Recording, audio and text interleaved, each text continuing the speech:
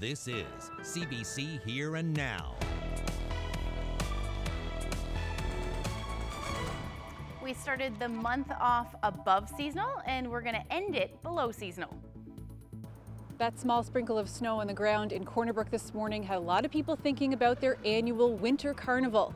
But because of COVID, that whole event is canceled this year. I was really disappointed to tell you the truth. Uh, everybody felt that this is something that we have to really sit down and think about. I'll explain what's going on. Welcome to Here and Now. I'm Carolyn Stokes. We begin tonight with another potential shot in the arm for the province's struggling offshore oil industry. Two new discoveries have been confirmed, hundreds of kilometers off St. John's in waters 10 times deeper than the Hibernia oil field. As Here and Now's Terry Roberts reports, the news is generating optimism among those hoping for the industry's recovery. Those working on this rig likely have mixed emotions. Their jobs on the Transocean Barents are just about done, and future work is scarce. But in the world of oil exploration, they did what they set out to do. At a time when oil companies are slashing exploration budgets, this rig was striking oil, not once, but twice, in prospects known as Cappahayden and Cambriol. This is, uh, again, great news at a time when the uh, industry itself is looking uh, for, for great news.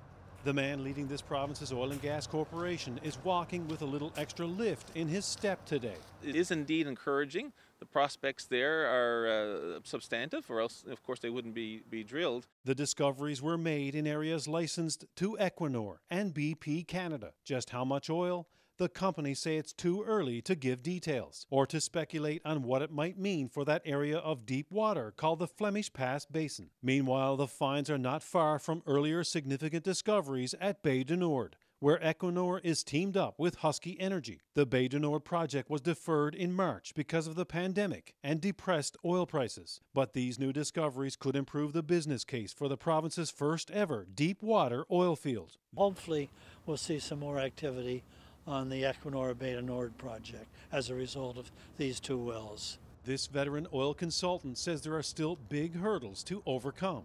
Things like distance, water depths of 1,000 meters, and volatile oil prices. Some leading consultants in the world say you need $50 a barrel prices to justify deep water development, and I would suggest that they probably need more than $50 a barrel. As for Jim Keating, he predicts oil prices will recover soon and exploration will pick up. I'm actually hoping for 2022 to be um, um, not next summer, but the summer after, the return to that bow wave mentality. Because what this shows with these two wells, which are likely the last of the wells that were planned pre COVID, is that there is a significant opportunity for Newfoundland and Labrador in our prospectivity. As for this rig, it will sail for Norway next week, taking nearly 300 jobs and possibly opening the door to another producing oil field. Terry Roberts, CBC News, St. John's. And as the province's oil industry continues to struggle with low prices and deferred projects, the Premier is describing today's news as positive. The announcement comes the day before Andrew Furey and his energy minister meet with officials from Cenovus, the company merging with Husky Energy. Here now's Mark Quinn reports. Exciting. Equinor isn't releasing details about its new finds, but the Premier believes they are significant. Anytime there's a find that people are announcing, it's a significant one, I would think, I would hope. Furey expects today's announcement will ultimately accelerate the company's Deepwater Bay du Nord project, which was deferred in March. And uh, anytime that uh, you know you have a significant find on top of other finds, that changes the economic needle. One would think of any uh, structure for uh, future uh, developments. Furey and the energy minister are scheduled to meet with Cenovus for the first time since its merger with Husky was announced. To me, it's a case of trying to ascertain what you know. What's their aspirations to uh, to this merger? How do we fit into their big picture? Uh, with Husky, we've been basically looking at you know we have a scope of work that's been put to us. Let's try to do what we can uh, for 2021 to put people back to work and, and and again to further the project for 2022. The progressive conservative leader says he knows what he'd be looking for if he were meeting with Cenovus a promise that the mothballed West White Rose project will go ahead. Reassurance from the CEO of the new organization that now owns the Husky assets what the future holds for them. And in fact, do they even want to keep these assets? Because I think that question is up in the air. Equinor previously announced that it will be moving its Alberta offices to Newfoundland and Labrador, but it hasn't said when that will happen or how many people will be coming. Mark Quinn, CBC News, St. John's. Fuel prices are spiking across the island after North Atlantic Refining pleaded with the PUB for an increase. The company says the cost of importing fuel has gone up and argued fuel prices should reflect that. North Atlantic Refining owns the idled Come By Chance refinery. The company placed it in standby mode in late March because of the global pandemic and the resulting collapse in oil prices. North Atlantic says it's been importing refined fuels into the province for the past six months, driving up expenses. But the company says the PUB's markups don't take that into account. It's based on having an operating refinery. After a review, the board approved a 4 cent increase for gas and a 3 cent increase for diesel in Newfoundland. In Labrador, gas prices will drop by about a cent and a half. Was a chilly start to the day for most of us. Uh, below zero, minus one in St. John's, minus four in Gander. In fact, that is the coldest overnight low uh, in the last 20 years, actually, in October. Last time it was Halloween, uh, the last time that that happened. So we did see plenty of uh, cool temperatures. However, the temperatures did kind of recover this afternoon. Five degrees in St. John's, six in Corner Brook, but those temperatures staying below zero up through uh, most of Labrador. Minus four was the afternoon high in Lab City. So we did see uh, plenty of cloud cover today, some peaks of sun as well with the uh, showers and or flurries moving through for uh, the majority and good thing uh, I noticed this afternoon is the radar is finally showing up on my system, so that's nice to see. Uh, this is cloud cover ahead of what is now post-tropical storm Zeta all the way uh, back in the States. That's not really going to affect us as we head through the couple of days, but these cool temperatures are going to stick around. I'll have all those details coming up. Thanks, Ashley. Well, we haven't hit Halloween just yet, but many town councils and communities already have their eyes on Christmas and beyond. What would have been the 50th Corner Brook Winter Carnival has been canceled. Instead, the golden anniversary will be pushed to a post-pandemic date down the road. Here Now's Colleen Connors has more right here in Margaret Bowater Park is usually where the Winter Carnival gets started, with a huge party and a large opening ceremony. But for the first time in 49 years, the Corner Brook Winter Carnival is canceled because of the pandemic. And that has a lot of people upset. Well, we had this not not in our gut, I guess, that said, oh, gee whiz, we were planning so much and we wanted this to go ahead. I was really disappointed, to tell you the truth. Cummings was the 2020 Youth Ambassador for Winter Carnival, something she will never forget. It was so beautiful. I got to make so many connections with people and do a lot of fun activities. And I think that doing activities with people that you come to love and care for was definitely the best part. Carnival has been an annual tradition since the 70s that focuses on family fun day in the park, musical concerts, big meals at the Legion, and it all runs for about two weeks. Dave Elms, carnival mascot Leaf the Lucky, has been involved for decades. We, we looked at all of the circumstances in relation to how carnival works, and we just said it's, it's not going to be possible to do it and to be safe. And I think that was the big word that we were using all the time. We want to be safe with people. It would have been impossible to safely distance during the events, outside or inside. But he's encouraging the public to still celebrate from home. What we're asking them to do is keep the flame burning in their own way and keep the spirit alive. So uh, keep your Christmas lights on as we normally do during Carnival. Decorate your windows with carnival scenes, build snow sculptures or snow creations in your yard and, and things like that. So uh, maybe in that vein that maybe we can hopefully keep the spirit going until we actually get to the 50th. Elms, Cummings, and the Carnival Committee are already working on big plans for the 50th celebration, just not this winter. Elm says there's no need to fret because any big event, like the Family Fun Day in the park here, will just be put on pause. So all of the 50th annual celebrations will just take place in 2022. Colleen Connors, CBC News, Corner Brook. Well, another annual tradition won't be the same this year. Public health guidelines don't allow for the traditional Santa Claus parade due to COVID. Organizers across the province are in scramble mode, trying to figure out how to celebrate safely. Here now, Cease Hare has more. Every year it goes off without a hitch, but this year one thing is for certain. The annual Santa Claus parade in St. John's won't look like this.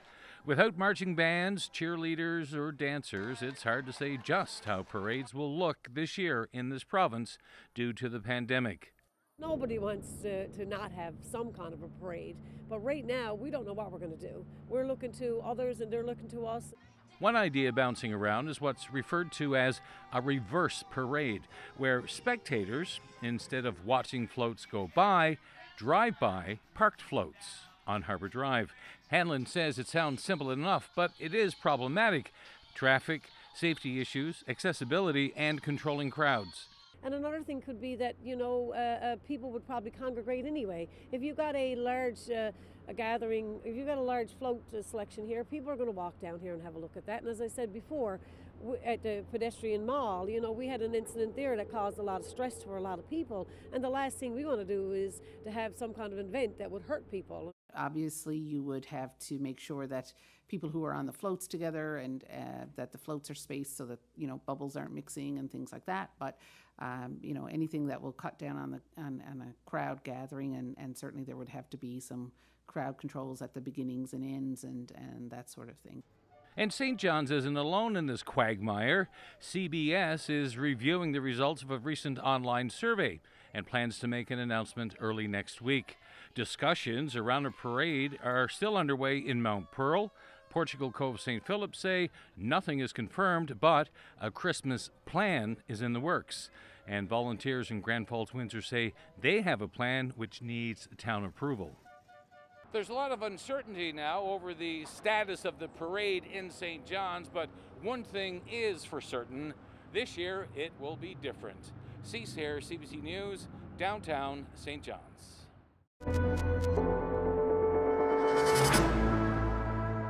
Well, are you getting the flu shot this year? Tens of thousands of people already have, and many more are signed up. But the health minister is not ready to declare this year's flu season a success. Here now, Peter Cowan joins us live. So, Peter, let's start with the numbers. How many people have had the shot so far? Yeah, Carolyn, government has put a big push on because normally less than a third of people in this province get a flu shot. The good news already almost 20% of people have either gotten the shot or signed up to get it. Let's take a look at some of those numbers. So, pharmacists have already given out 28,000 flu shots. This is the first year that they've been free to receive from pharmacies. Another 52,000 people have either received or signed up to get a flu shot from the public health clinics. That's not bad considering clinics like this one here in St. John's only opened up a week ago. The big concern this winter is that the province will end up dealing with a double whammy a spike in COVID cases, at the same time, they're seeing a spike in influenza, and that could overwhelm the hospitals. The health minister, though, isn't relaxing. He's going to keep the push on to make sure more people get their flu shots. We need to keep the population as healthy as possible. Uh, with an older group, the double whammy of flu and then COVID or the two simultaneously uh, would be a real challenge medically for them. Uh, and I think it would be a significant challenge for the healthcare system should we have uh, a serious spike in both at around the same time. So, um, cautiously optimistic, but not sitting on my hands being complacent. Now, they are also going to go into schools in order to administer flu shots, but only students in grades four and above are going to get it. Now, the flu shot is safe for younger students. The problem, though, is a practical one. They normally need a little bit of help from their parents, and right now, parents aren't being allowed into the schools. I can speak from mounds of experience as a family doctor. It is a little bit more difficult to give uh, an injection to those uh, children, and uh, because they tend to get upset and they need to be held and that sort of thing. So, uh, you know, it would be, uh, I think, very difficult for one uh, one nur- um, nurse to be able to uh, to do that uh, without having the parents come in. Now, is there going to be enough vaccine for all these people that are getting the flu shot? The health minister says yes. They already have 200,000 doses of the vaccine, and they're expecting another shipment to come before Christmas. Carolyn? Thanks so much, Peter. That's Here Now's Peter Cowan reporting live. Well, money is running out for the food helpline service added to 811 in the early days of the pandemic. It was set up to get people resources. So if a food bank couldn't help the caller, operators had resources like hampers and gift cards they could give out. They also help people without MCP coverage and those with severe dietary restrictions. Now, 811 is referring callers elsewhere instead of providing food. But there could be more money coming. Earlier this month, Ottawa announced another $100 million in pandemic aid for food banks. Some of that could end up in this province, but how much and when has yet to be decided. Well, political moves are being made. Some notable local names are throwing their hat into the ring, announcing nomination bids for the upcoming provincial and federal elections. After some recent speculation, Joanne Thompson, the executive director of The Gathering Place, has confirmed she's seeking the federal Liberal nomination in St. John's East and. Hi, I'm Chris Andrews. After MHA Kevin Parsons' announcement today that he won't be seeking re-election in the riding of Cape St. Francis, I would like to officially announce that I will be seeking the nomination for the PC party in the riding of Cape St. Francis, Newfoundland and Labrador. Yes, Shanneyganock's frontman is seeking the PC nomination. As Andrews said, MHA Kevin Parsons is not seeking re-election. Parsons spoke to reporters today about that decision. It's just the timing is, is good for me now. Uh, you know, I, uh, I'm at a stage in my life right now where I'm soon be up there in the in the 60s, so I decided that I wouldn't take another run and uh, spend a little bit more time with family. I got nothing planned in the future, but whatever comes, I'm not saying it's going to be. Uh, I'm a very active person, and I know that I'll stay at something. But what it is, maybe cutting wood, maybe doing a bit of fishing. I enjoy everything. Now, Parsons says that seat has been held by the PCs since Confederation, and he hopes it stays that way. He doesn't plan to endorse any nominees, instead, saying he'll wait until an official candidate is selected. Well, Fong's Restaurant and Motel, a staple of birthday dinners, weddings, and even politician banquets in Carbonear, has closed its doors after over 60 years in business. The business expanded to offer motel units in the 1980s. It became a place for movers and shakers to be seen in Conception Bay North. Owner Art Fong says the closure is a direct result of financial strain from COVID 19. Public health restrictions around event bookings and reduced occupancy in the restaurant cut business dramatically. Here's some of Fong speaking to CBC over the years. Fong's has changed locations, but it's been around since 1955.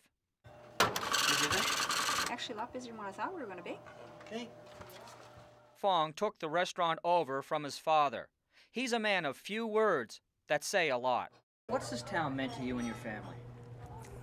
A living. We, we left the old country f- for freedom. I'm the third generation. Everybody got to work hard in Newfoundland. You want to make, you got to work hard. Well, keeping with Carbonear, it's time for our final ghost story in Here and Now's spooky series, The Haunting of. Four years ago, a couple bought a house in the Conception Bay North town, sight unseen. It wasn't until they moved in that they discovered the home's troubled past with ties to death and murder, and they started to experience strange things.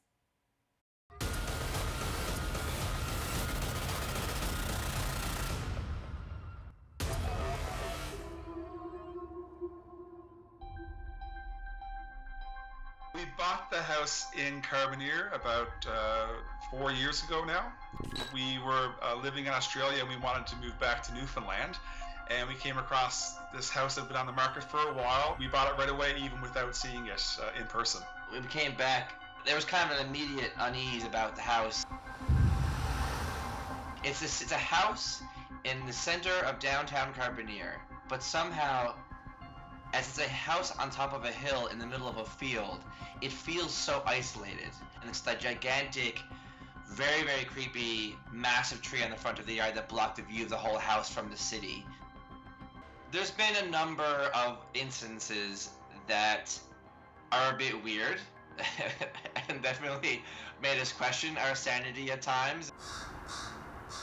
We had been in the shed every day nearly um, for the whole year we were living in the house uh, because you know we're using it as storage and for renovation.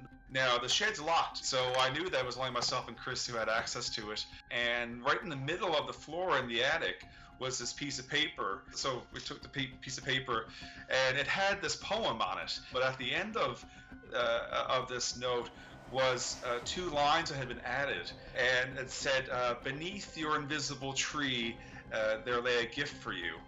Uh, and so, which kind of both give chills up our spine. There was just no reason for it to be in there. We still have no idea how it got there.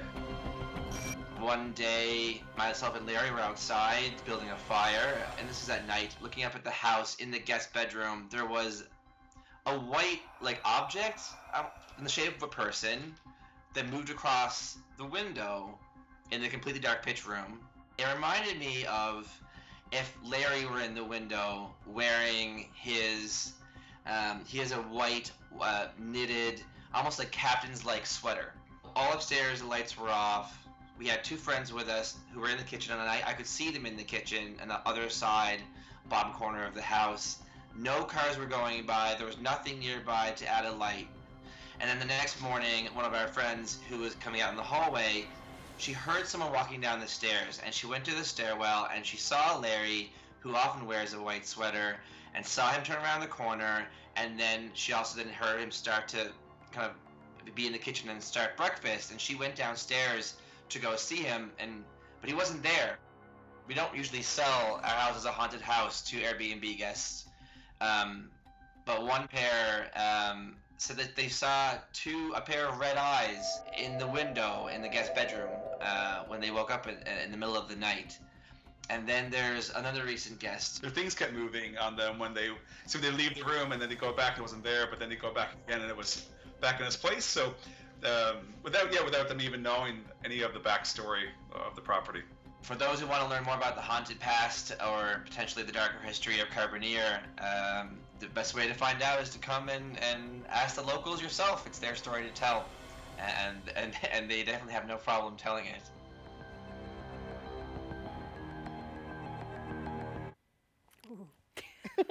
When I got I got chills when he said they got chills, so I did. I couldn't listen to that. Oh, I'm yeah, I so- wonder if there is anything in, under the ground, buried under the ground out there. Um, yeah, probably. Are you okay? Did you make Yeah, it through that I'll okay? be fine if I can get through the weather now. She's a bit see. of a scaredy cat. oh, Halloween. I don't know. It's I guess Halloween's not my favorite thing, suppose, but whatever. It's okay. One thing that isn't looking scary is the Halloween forecast, which is good, although it is looking a little bit chilly.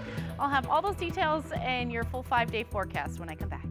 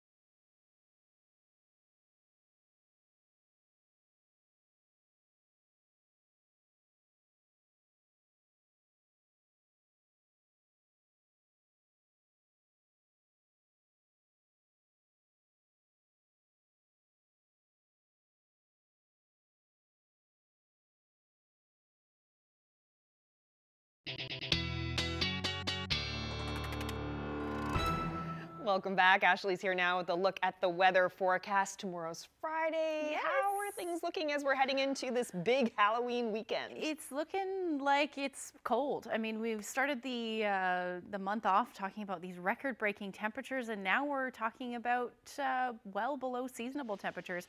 And uh, yeah, let's take a look at where we're sitting right now. Three degrees in St. John's, two in Badger, and similar temperature in Corner Brook. And then we've got uh, Twillingate, oh, not showing a temperature there, probably around one degree, and uh, six in St. Lawrence right now, and then minus six in Lab City. So not a whole lot going on weather-wise uh, as far as big systems are going. We have a, a low pressure system up through uh, affecting Labrador with some associated fronts with that. And then this is the cloud cover from uh, the leftover remnants of what is now tropical or post-tropical storm Zeta.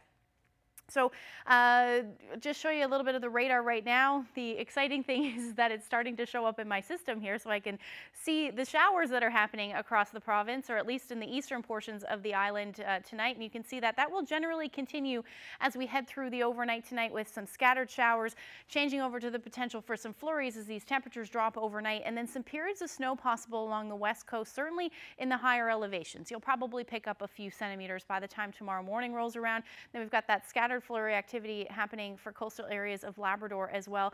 And then uh, in Lab West, it's pretty much just going to be the potential for flurries as we head through the overnight tonight.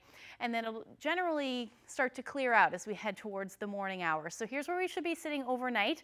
The winds will ramp up, uh, westerlies, uh, west or west northwesterlies, gusting anywhere from 40 to as much as 50 kilometers per hour. Exposed areas in the east could see gusts upwards of about 70 kilometers per hour as well.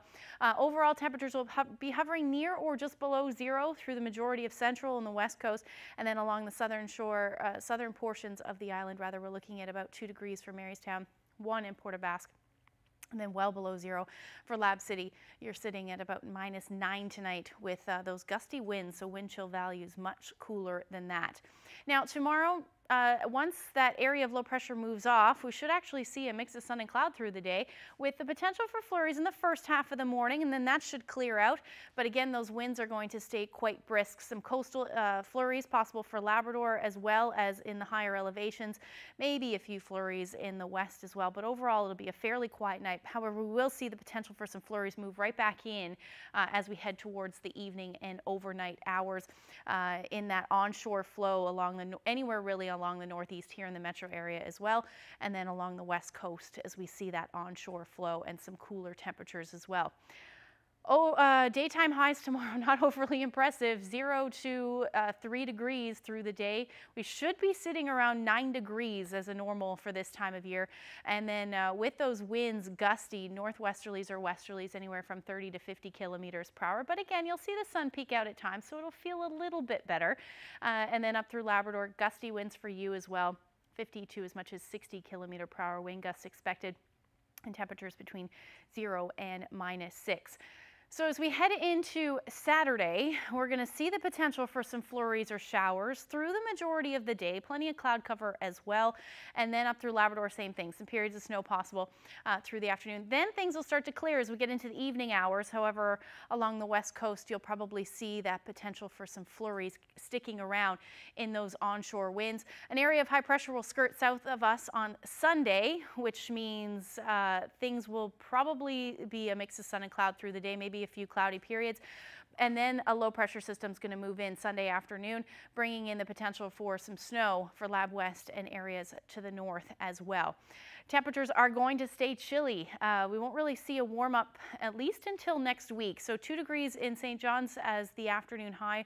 Uh, on Saturday, and then again that potential for flurry. Some sunshine in the mix as well. Uh, minus two for Happy Valley Goose Bay, minus six in Lab City. And if we take a look at the forecast. This is around 6 p.m. for when we're, uh, we're going to head out to do some trick-or-treating. About 2 degrees will be the uh, temperature in the metro area. Chance of flurries, maybe some showers as well, but note these winds. So these, even though these temperatures are going to be quite cold, the wind chills are going to feel more like minus 5 more than likely in the metro area. Uh, towards central as well, that chance of flurries sticking around the west. Happy Valley Goose Bay looks lovely, but chilly, minus 3. And then Lab City, you're looking at flurries and uh, temperature near minus 8. So will be cold. Into Sunday, we're going to rebound a little bit as far as temperatures go. So back into the mid to high single digits. And then Monday, it's looking like is when we're going to see a warm up. So a big push of warm air, relatively speaking, 12 degrees with some rain moving in, looking like we're going to see some windy conditions as well. That's the story pretty much across the province. And then a dip down as we head into Tuesday. So back down into those uh, well below seasonable temperatures. Eastern Labrador, you're looking at about 9 degrees, so push of warm air for you as well. However, it doesn't look like it'll make its way towards Lab West. You're still going to be still be sitting around 1 degree and then minus 9 for Tuesday. Wanted to share this lovely shot, an evening at the beach, the Manuels River walking trail there. Thank you so much to Karen for sharing that with us. And if you have any weather photos share with us, send to nlphotos at cbc.ca.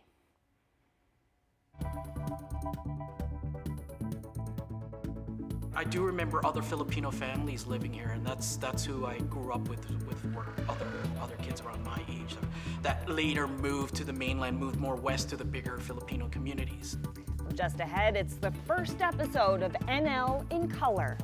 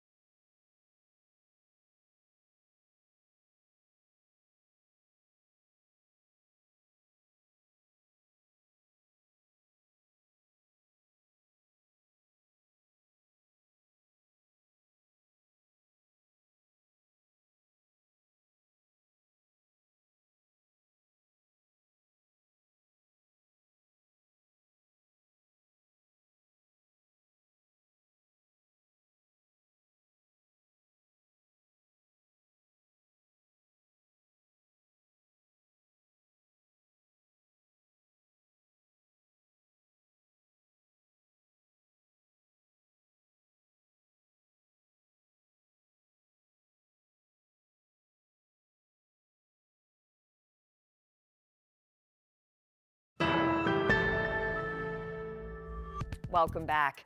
Well, tonight we're bringing you the first episode in our new series, NL in Color. It's a series about race identity in Newfoundland and Labrador, and it's presented by St. John's Morning Show host Ramraj Shavendran. These will be longer stories, full experiences from people of color, their firsthand accounts of living in this province and finding their place. Richie Perez remembers being bullied mercilessly for his skin color, but still he calls Newfoundland home. Here's his story.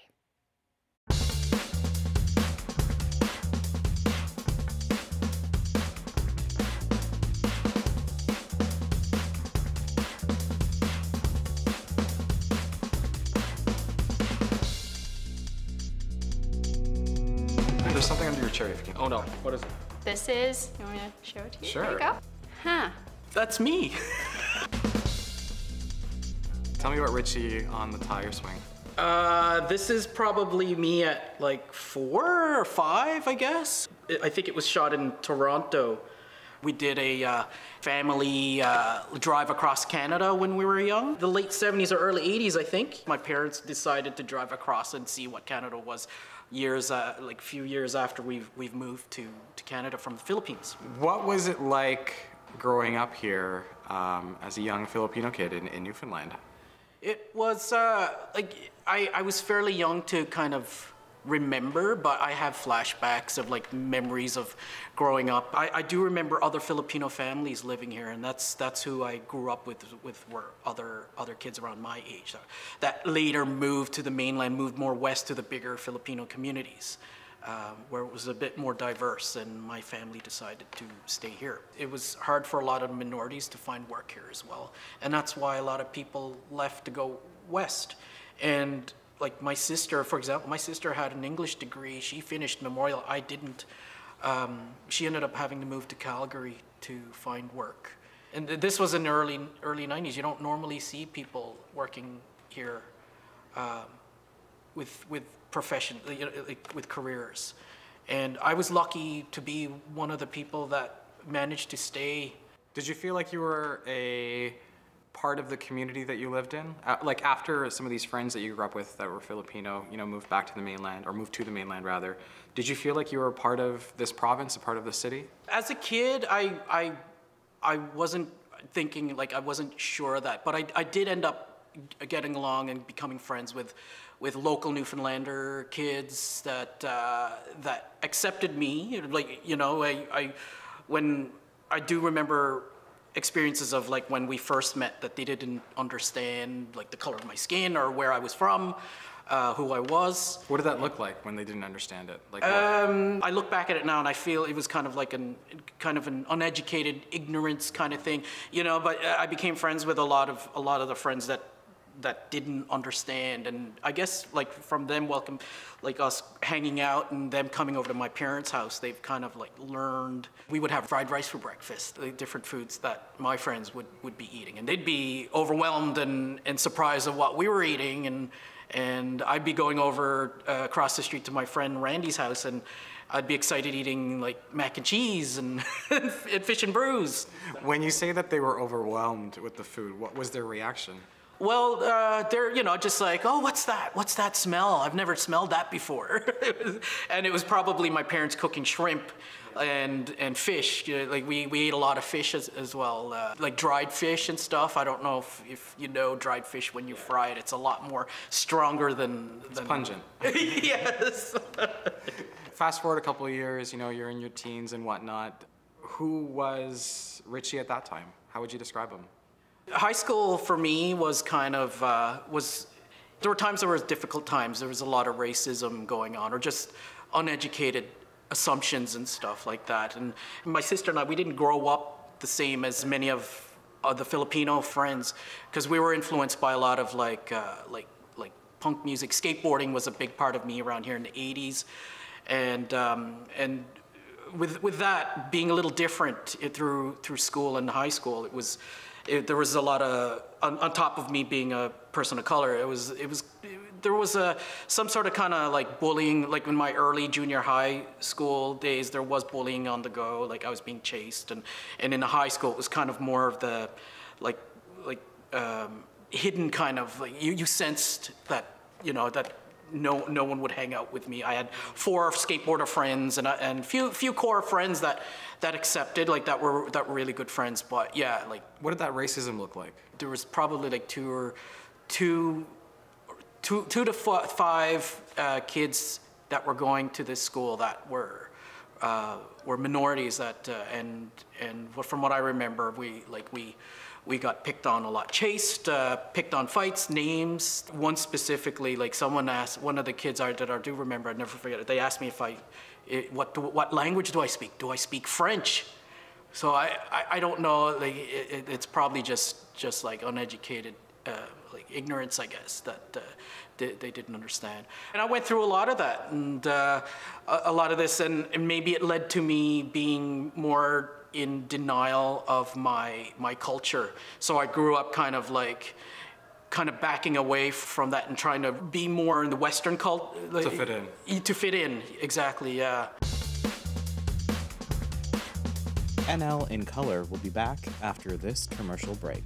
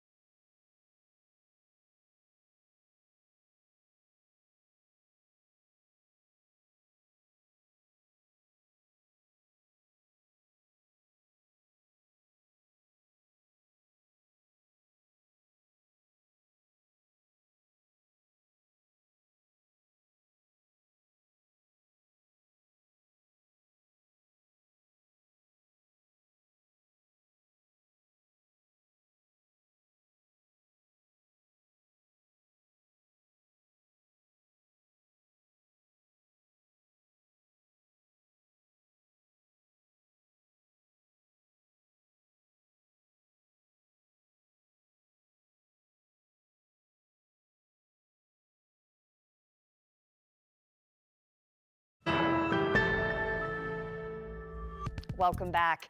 We're continuing now with part two of NL in Color, our series airing every other Thursday on Here and Now. We heard Richie Perez tell us about growing up on the island, what that was like for him, how he grew up in denial of his culture and tried to assimilate. Now we'll hear about what he did to try to undo some of that assimilation and relearn his culture.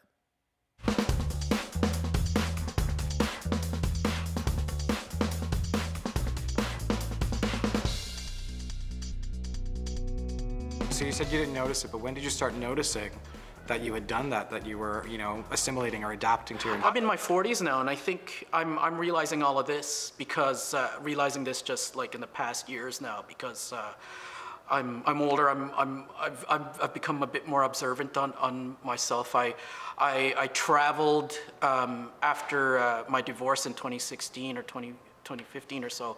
I decided to kind of rediscover my, my culture by leaving um, Canada and going to Philippines for about two months or so.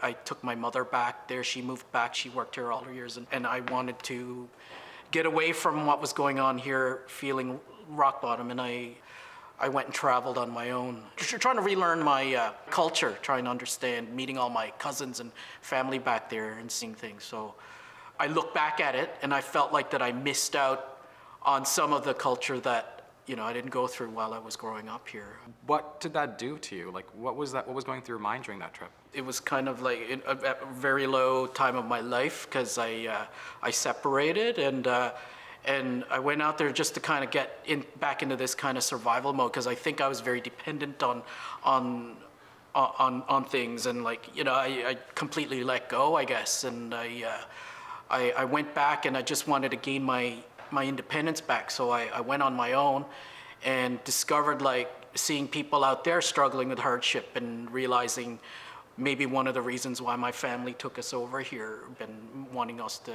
to grow up in what we would call like a better environment or better a better life. So I started appreciating like what was out there, seeing people living on the streets and hardly any support, and realize like my life here isn't as bad. So, and probably come to peace as well about the the two cultures that I grew up with, with Filipino culture and, and Newfoundland culture. So I came I came back trying to kind of immerse myself back into Filipino in Filipino culture that that uh, I miss because I my my mom isn't cooking for me anymore. So I um, I miss the food and I uh, I go I go to the Filipino. Uh, um, gatherings and, and try to immerse myself with, with them and try to understand the, the, cult, uh, the, the, culture again. So, when have you felt the most connected in this province? Because I think we've talked a little bit about some of the disconnections you've had, some of the experiences of racism, but have you felt a point of connection here, like growing up, and when, when did you feel it the most? I played guitar and I started uh,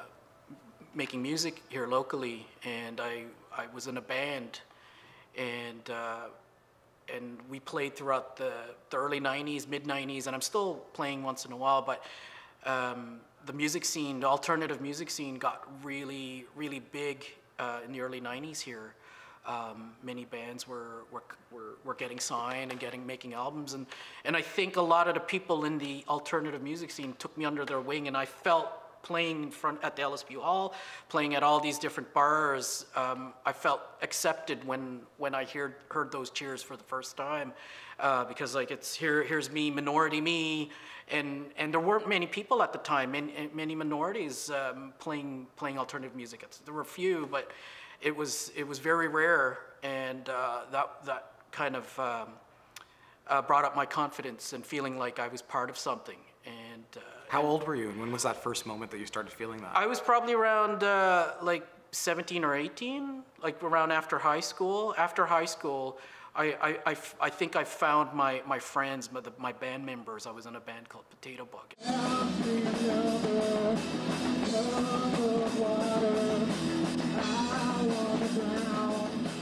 Like there was no sense of like, like oh you're you're different or whatever. What are you doing in the music scene? Do you get this? Do you get asked where are you from?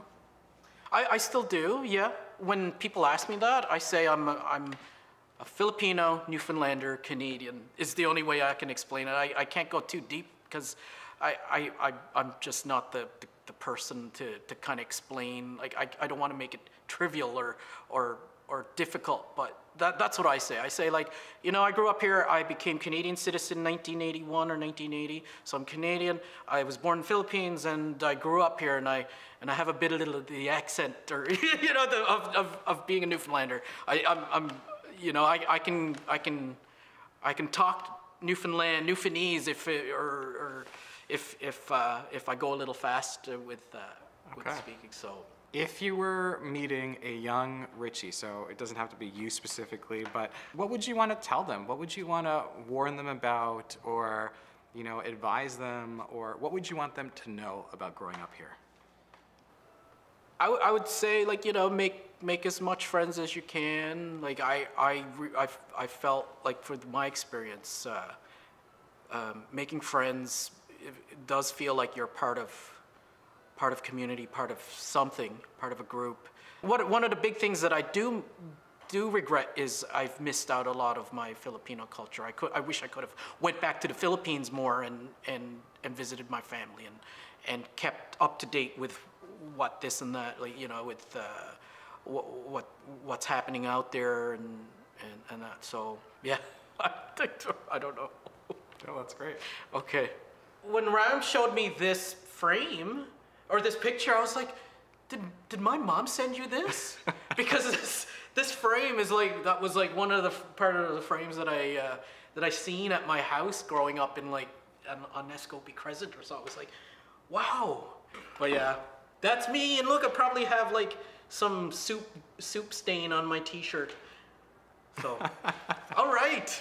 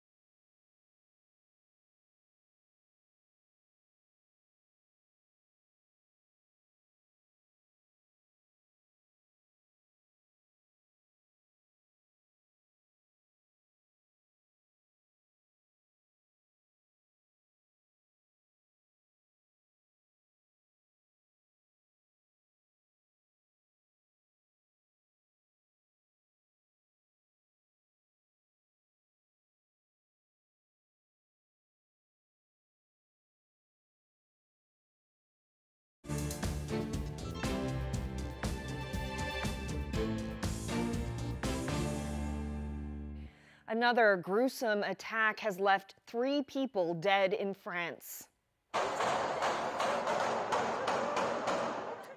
This is the moment police stormed the Notre Dame Basilica in Nice, shooting a knife wielding man inside. He'd been shouting, Allah Akbar. An elderly parishioner was beheaded and two other people killed, including the church warden. The suspect, reportedly a 21 year old Tunisian man, survived and was taken to hospital. French President Emmanuel Macron visited the scene and called the incident a terrorist attack. He raised the country's alert level to maximum and vowed to send out thousands of soldiers to protect the country's churches and schools. This is the third attack in France in the last two months. Just two weeks ago, a teacher was beheaded. He had shown his students a cartoon of the Prophet Muhammad. Prime Minister Justin Trudeau condemned the attacks in France. Speaking at an international conference, he called them heinous, unjustifiable, and an affront to all our values.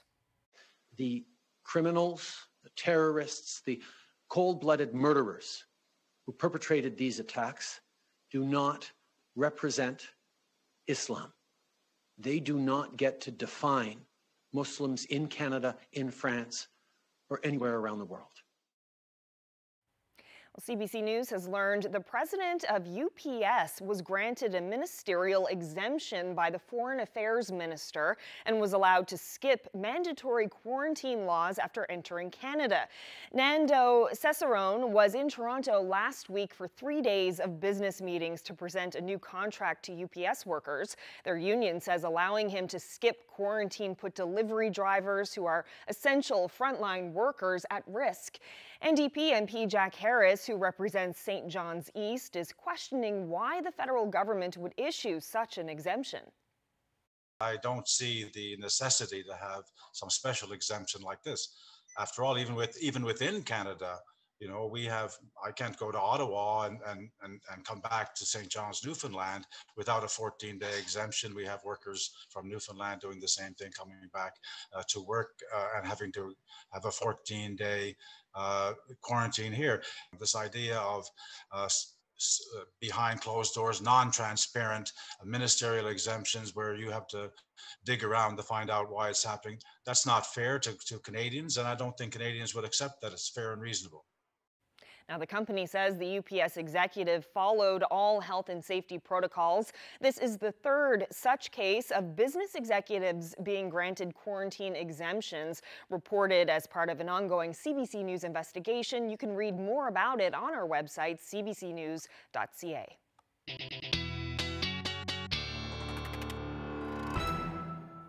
All right, time now for a quick weather recap. Yeah, let's talk about tomorrow. Mm. Looking like it's going to be a lovely day. We should see, uh, as far as sunshine goes, few flurries in the first half of the day, and then those winds, though, are going to be quite brisk 20 uh, to as much as 50 kilometers per hour across the board, and temperatures cold into the 1 to 3 degree range. As we head into Saturday, same thing. We're going to see a few flurry potentials as well as some sunshine peeking through, but again, these cold temperatures are going to stick around.